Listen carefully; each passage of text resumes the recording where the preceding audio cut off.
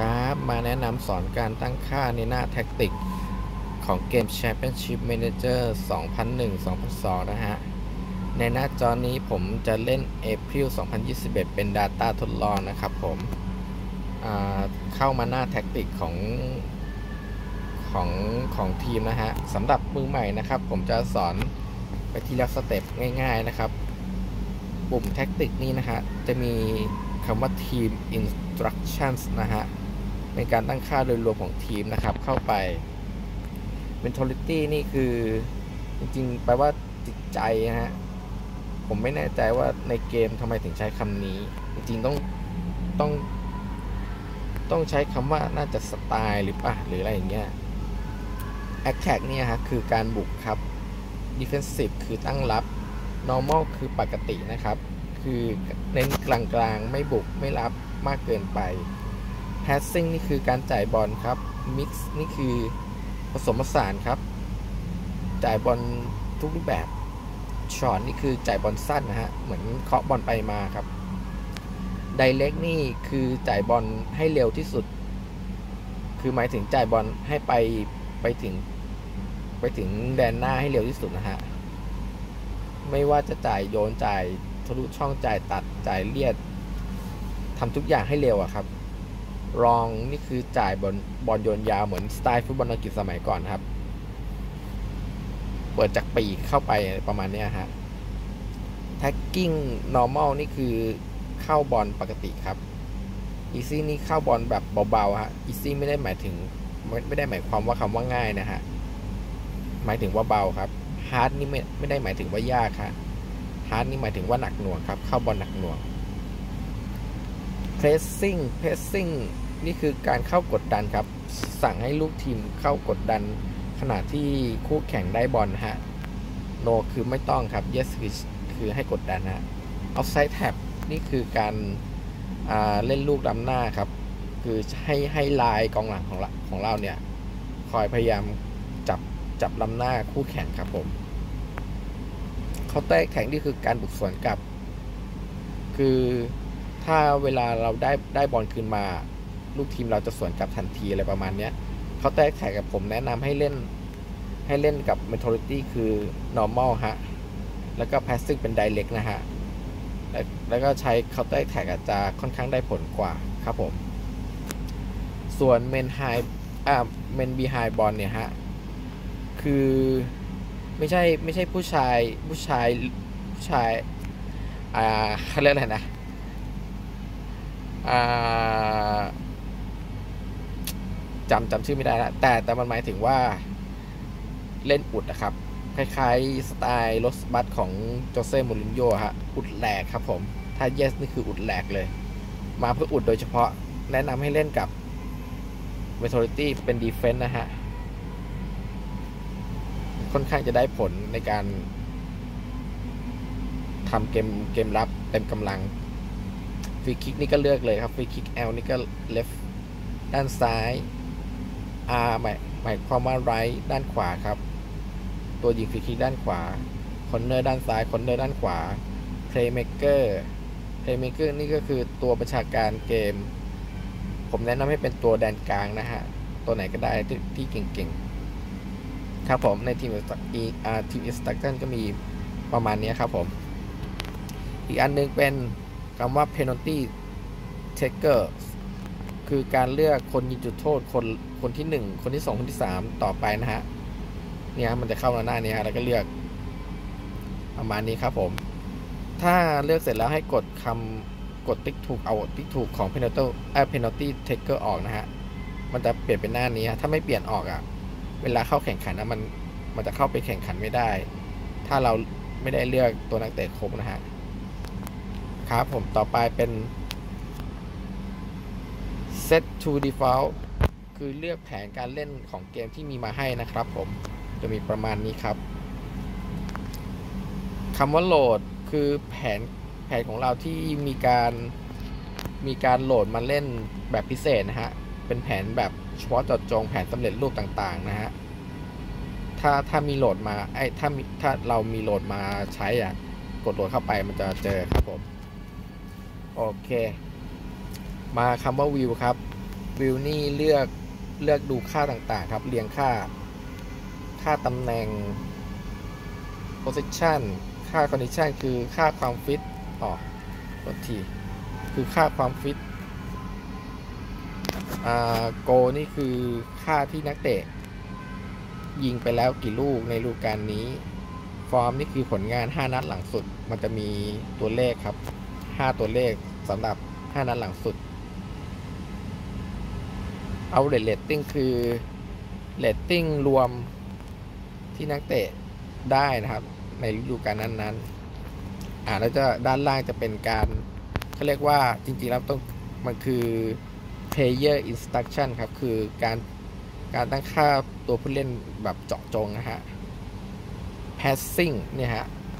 passing คือการจ่ายบอลนะฮะ มันก็เลือกได้ทั้ง mid direct shot หรือลองนะฮะ เลือกได้เลยว่าอยากให้ตัวไหนอะเจาะจงเล่นสไตล์บอลแบบไหน ถ้าถ้าไม่เจาะจงก็เลือกเป็นทีมไปเลยครับผม tagging คือการเข้าบอลนี่ฮะเลือกได้เลยครับ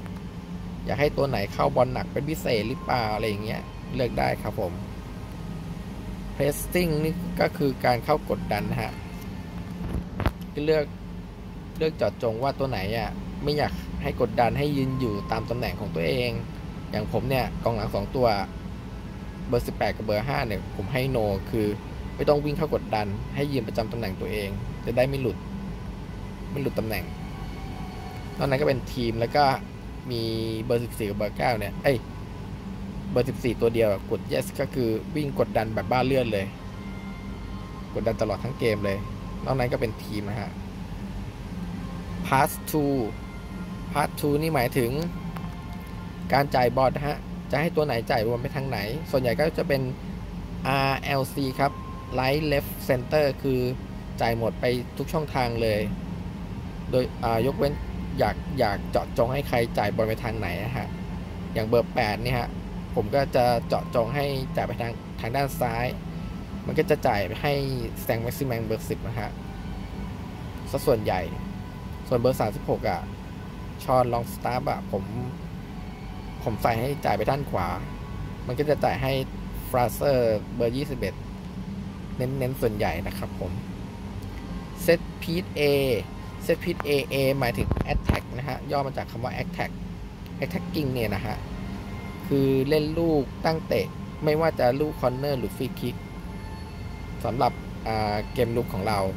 เราเลือกได้จะให้ใครขึ้นขึ้นไปเติมเกมบุก ในลูกตั้งเตะบ้าง หรือถอยล่นลงมารับ หรือ normal ปกติตามแผนโดยรวมของทีม set piece D D แปลว่า defensive นะฮะ คือการตั้งรับลูกตั้งเตะต่างๆ ไม่ว่าจะเป็นฟรีคิกหรือ corner ครับผม ส่วนใหญ่ก็ใส่แบ็กลงมาช่วยเกมรับกันทั้งนั้นนะฮะ ยกเว้นยกเว้นเนี่ยบางตัวเราอยากให้ให้อยู่ในตำแหน่งของตัวเองก็ normal หรือไม่ก็อยากให้ไม่ต้องลงมา กลางมุ้งรอไปเลยก็ forward ไปเลย อย่างนี้ฮะ ต่อไปฟิโลฟิโลนี่คือตำแหน่งอิสระ คือไม่มีตำแหน่งเฉพาะเจาะจงนะฮะ ให้เล่นอิสระเลย วิ่งแบบเหมือนวิ่งมั่วเลย ถ้านักเตะไม่เก่งจริงใช้ free role นี่คือมั่วมากๆนะฮะ ไม่แนะนำถ้านักเตะเก่งๆอะใช้ free role แบบ อย่างเงี้ยจะเขาจะ เขาจะเก่งมาก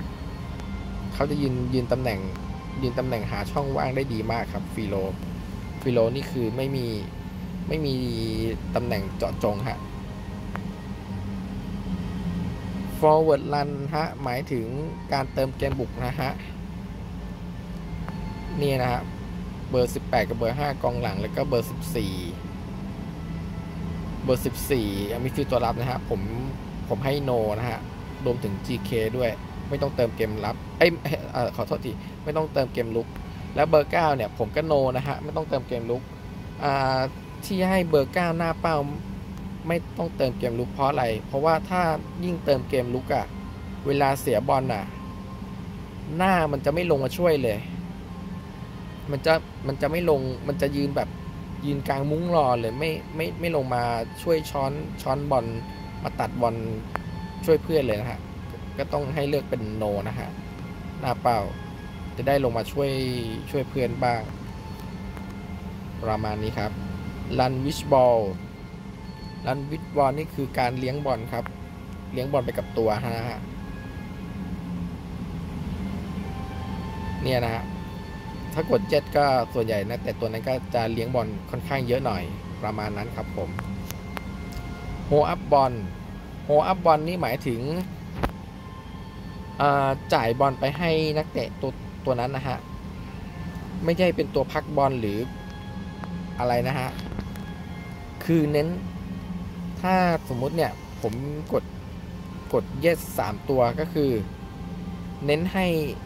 เพื่อนๆทุกคนน่ะ จ่ายบอลไปให้เจ้าสามตัวเนี้ยให้มาก ๆ ทั้งเบอร์ 10 เบอร์ 21 เบอร์9เนี่ยฮะ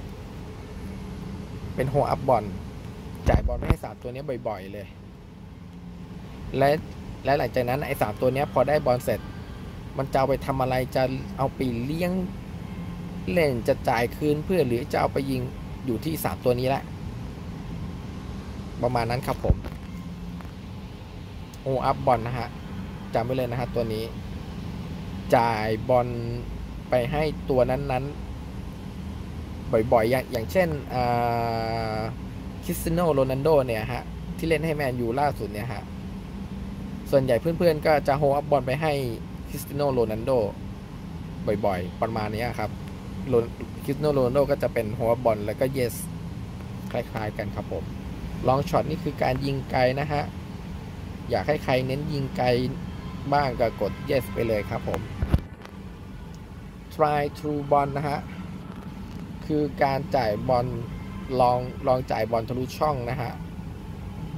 ทดลองจ่ายบอลทะลุช่องนะครับ อันนี้ผมให้โจลิงตันตัวเดียวนะฮะกด yes ทำไมถึงให้โจลิงตันกด yes จ่ายบอลทะลุช่องตัวเดียว เพราะว่ามันจะมีเบอร์ 10 กับเบอร์ 21นะฮะตรงปีกนะฮะเติมเข้ามา เพราะว่าไอ hold up ball น่ะ hold up ball ไออ่าไม่ใช่ไม่ใช่โทษทีตัวตัว forward run นะฮะ forward run เบอร์9โจลินตันอะ ผม no มันจะลงมา มันจะลงมาช่วยเกมในแดนกลาง ลงมาช้อนบอล จึงทำให้คำว่า try through ball ใช้กับโจลินตันได้นะฮะ ถ้าโจลินตันลงมาช้อนบอลแล้วเพื่อนเติมเกมบุกขึ้นไปอะโจลินตันสามารถจ่ายทุกช่องให้เพื่อนไปยิงได้แทนนะครับ คือไม่จำเป็นต้องเป็นหน้าเป้าและต้องยิงเองนะฮะ ประมาณนั้นครับผม cross บอลนี่คือการโยนบอลยาวนะฮะ ก็คล้ายๆบอลอังกฤษสมัยก่อนตามตามที่บอกไว้ครั้งต้นแรก ๆ นะครับผมประมาณนั้น ใครอยากให้ตัวไหนโยนยาวก็ใช้ cross บอลไปเลย marking นี่คือการประกบตัวนะฮะ จะเลือกเป็นโซนก็ได้ หรือว่าเลือกเป็น man ก็ได้นะฮะ man นี่ก็คือจะเป็น marking เจาะจงไปเลย ว่าอยากให้ใคร man marking ใครอย่างเช่นคลิกขวานะฮะ คลิกขวาตัวชื่อนักเตะ ผมขอคลิกขวาเบอร์เก้าโจลินตันปุ๊บเนี่ยฮะมาอันล่างสุดนะฮะ marking นะฮะผมาสามารถเลือกได้นะว่าจะให้โจลิงตันอะมาร์คใคร ผมสมมติมาร์ค GK ไปเลยแซมจอห์นสโตนคู่แข่งเบอร์หนึ่งแล้วก็กดโอเคเนี่ยฮะมันจะขึ้นแมนแล้วก็ชื่อย่อของคู่แข่ง SJ ประมาณนี้ครับผมามาดูฝั่งฝั่งตาราง ฝั่งฝั่งด้านขวาตารางสนามนะฮะ Overview ก็คือตำแหน่งในการยืนของนักเตะนะครับผม สามารถเลื่อนได้ครับว่าจะให้นักเตะยืนตำแหน่งไหน สามารถปรับเปลี่ยนได้อ่าอุ๊ยขอโทษทีช่องวิดบอลนะฮะ ช่องวิดบอลคือ คือช่องที่เราได้บอลนะฮะ ไอ้กรอบสี่เหลี่ยม เส้นปะสี่เหลี่ยมสีเหลืองนะที่ที่ท่านเห็นเนี่ยเนี่ยประมาณเนี้ยคือถ้าเส้นปะสีเหลืองอยู่ตรงตรงช่องไหนเนี่ยลูกบอลจะอยู่ตรงนั้นนะฮะพอลูกบอลจะอยู่ตรงนั้น นักเตะเราก็จะยืนตำแหน่งตามนี้นะฮะเนี่ยครับสมมุติลูกบอลอยู่ตรงหัวมุมคู่แข่งด้านซ้าย นักเตะก็จะยืนยืนตำแหน่งตามนี้ครับผม ถ้าอยู่ตรงบริเวณกรอบเขตโทษของคู่แข่ง นักเตะก็ยืนตามนี้ฮะ วิบอลคือ คืออ่าตำแหน่งการได้บอลของเรานะฮะ ส่วนวิสเอาบอลเนี่ยวิสเอาบอลคือตำแหน่งนักเตะที่ยืนสำหรับที่ไม่ได้บอลหรือคู่แข่งได้บอลอยู่ ส่วนใหญ่ก็จะยืนแบบเน้นรับนะฮะ เนี่ยนะฮะ ดูนะครับวิดบอลนี่ก็คือเน้นดันเน้นยืนสูงหน่อย ส่วนวิสเอาบอลเนี่ย กลายเป็นยืนยืนแบบแคบลงและก็ต่ำลง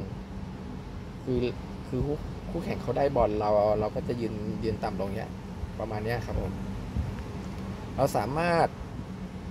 สามารถย้ายย้ายในการยืนของนักเตะได้นะครับ สมมุติ สมมุติอ่าวิชเอาบอลเราเสียบอลตรงอ่าตรงกรอบเขตโทษของของคู่แข่ง สมมติอ่า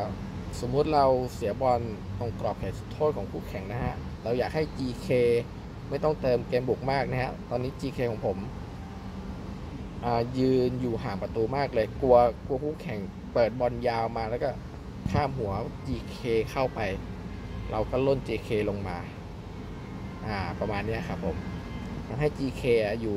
อยู่ในบริเวณประตูใกล้ประตูมากขึ้น ประมาณนี้ครับผม ตรงคำว่า last match last match เนี่ยนะฮะอ่าน่าจะกดไม่ได้ คือแผนการเล่นเกมล่าสุดที่เราใช้เล่นนะฮะ ประมาณนั้น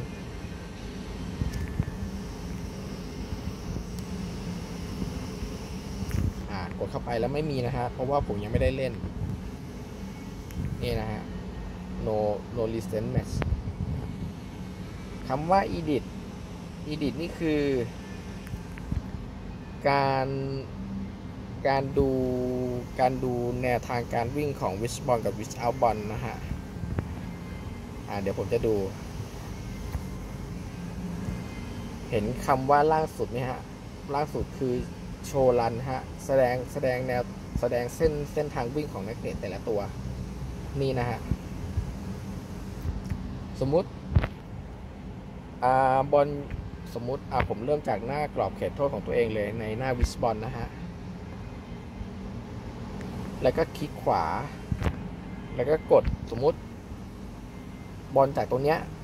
แล้วโยนไปไปหน้ากรอบเขตโทษของคู่แข่งเลยป๊าบอย่างเงี้ยเส้นทางการวิ่งของนักเตะแต่ตัวก็จะประมาณนี้ครับผม หรือว่า หรือว่าจากหน้ากรอบเขตโทษของเรา โยนไปทางกราบซ้ายปุ๊บเส้นทางการวิ่งของนักเตะแต่ละคนก็จะประมาณนี้นะครับ หรือว่าบอลอยู่ตรงหัวมุมด้านขวามุมสนามด้านขวาของคู่แข่ง แต่แต่เราอะได้บอลอยู่ แล้วบอลอะเราโยนกลับคืนหลัง เราโยนกลับคืนหลังไปตรงกลางปุ๊บ อ่า ประมาณนี้ เราอ่าลูกทีมเราก็จะวิ่งวิ่งลงไปยืนตำแหน่งตามนี้นะฮะ อันนี้ลูกศรเส้นทางการวิ่งของของลูกทีมเรานะฮะ เห็นเส้นปะสีขาวไหมฮะ เส้นปะสีขาวคือ ลูกบอลลูกบอลที่โยนมาจากตรงนี้นะครับ โยนมาเส้นปะสีเหลือง ประมาณนี้ครับ อ่า อันนี้คือเส้นปะสีเทาจะอยู่ด้านด้านล่างของกึ่งกลางสนามของฝั่งเรานะฮะ แล้วก็โยนไปตรงมุมของคู่แข่ง เส้นปาสีเหลืองจะบอลจะไปอยู่ตรงนั้น และลูกทีมเราก็จะวิ่งไปประมาณนี้นะฮะ คล้ายๆกันครับวิชเอาบอล ถ้าเราไม่ได้บอล ลูกทีมก็จะวิ่งประมาณนี้ฮะ สมมติ อะ อ่า นี่ฮะ เส้นปาสีเทา ตรงกรอบเขตโทษของคู่แข่งนะฮะ ถ้าคู่แข่งโยนบอลมาถึงกลางสนามฝั่งทีมเรานะฮะ ลูกทีมเราก็จะมาวิ่งวิ่งกลับมาประมาณนี้ครับผม เนี่ยนะฮะ แต่จริงแล้ววิสบอลกับวิสเอาบอลนะผมแนะนำถ้าถ้าไม่ถนัดหรือไม่ไม่รู้ไม่รู้แนวทางการจัดวางตำแหน่งของนักเตะจริง ๆอะอย่าไปยุ่งมันนะฮะ ถ้าวางมั่วนักเตะจะ หลุดตำแหน่งหรือและเสียตำแหน่งไปเลยนะฮะ จะทำให้มีโอกาสเสียประตูค่อนข้างมาก หรือไม่ก็โอกาสที่จะได้ประตูก็ค่อนข้างค่อนข้างยากมากขึ้นครับผม อย่างเช่นสมมุติวิชอาวิชบอลอย่างเงี้ย ใครไม่รู้ ไปไปเอาสมมุติเนี่ย อ่าสักครู่นะฮะ สมมติบอลบอลอยู่ตรงกรอบเขตโทษของคู่แข่งและ กรอบสีเหลืองนี่คือกรอบเขตโทษของคู่แข่งนะฮะบอลไปอยู่ตรงนั้น แล้วดันไปเอาหน้าเป้าของเราอะ่ะ ไปวางผิดตำแหน่งวางตรงเนี้ยวางตรงฟูลแบ็กด้านซ้ายของเรา ทีเนี้ยบุกบุกอยู่ดีๆ เอ้ากองหน้าหายไปไหน กองหน้าไปยืนตรงแบ็กแบ็กซ้ายได้ยังไงอย่างเงี้ย อย่าไปยุ่งมันนะฮะ ไม่แนะนำไม่แนะนำให้ไปไปยุ่งมันมากเกินไปนะฮะ มันมาอย่างไงให้มันเป็นอย่างนั้นครับผม โอเคครับ ถ้าถ้าถนัดหรือรอบรู้ในการจัดวางตำแหน่งโพ i ิชันของนักเตะในวิชบอลวิชอาบอลจริงๆ ก็สามารถทำได้ครับผม โอเคส่วนถ้าเราไม่อยากเห็นเส้นทางการวิ่งของนักเตะก็แค่กดกดไฮรันฮะเส้นทางการวิ่งก็จะหายไป ถ้าโชว์รันเส้นทางการวิ่งก็จะกลับคืนมา ครับผม ส่วนรีเฟกนี่คือการหมุนย้อนกลับนะฮะ สมมุติเรา เราเอา เราเอาตรงเนี้ย สมมติวิชเอาบอลเราเสียบอลเราเสียบอลจากหน้ากรอบเขตโทษของคู่แข่ง แล้วคู่แข่งโยนไปทางด้านซ้ายของพวกเขาเอง เราก็จะวิ่งไปประกบประมาณนี้ ถ้าอยากถ้ากดรีเฟรชมันก็จะไปอีกทางหนึ่งฝั่งซ้ายประมาณนี้ครับผม ซ้ายขวา แค่นี้เองครับ นี่ประมาณนี้ครับผม หรือวิชบอลวิชบอลเราได้บอลจากาสมมติได้บอลจาก GK แล้ว GK โยนโยนขึ้นมากลางสนาม ประมาณนี้ ถ้ากดรีเฟกปุ๊บอ่าไม่ได้ไม่ได้โทษทีโทษทีมันต้องมันต้องเป็นซ้ายขวาอ่าสมมติ GK ได้บอลและ GK โยนไปทางปีกซ้ายอ่าประมาณนี้ถ้ากดรีเฟกมันก็จะกลายมาเป็นโยนไปทางปีกขวานะฮะ ส้นทางการวิ่งก็จะประมาณนี้ครับ แค่นี้เองครับรีเฟกนี่นะฮะ ประมาณนี้ครับผม รีบสอนไปหน่อย อยากให้มันจบไวๆครับผม นี่ก็เกือบเกือบ 25 นาทีแล้ว ยังไงก็ขอจบการสอนการตั้งค่าในหน้าแท็กติก แต่เพียงเท่านี้นะฮะ ขอให้สนุกกับการเล่นเกมนะครับผมอ่า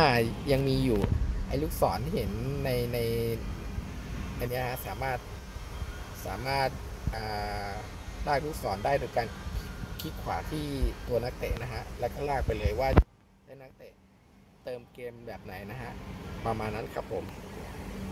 ขอให้สนุกกับการเล่นเกมนะครับ สวัสดีครับ